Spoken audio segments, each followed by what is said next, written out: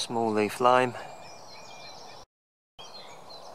So they just have this light green, sort of round lobes, almost heart shaped, but not quite.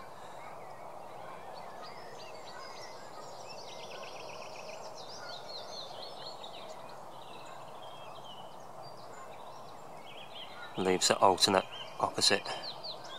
They're not equally spaced on the stems.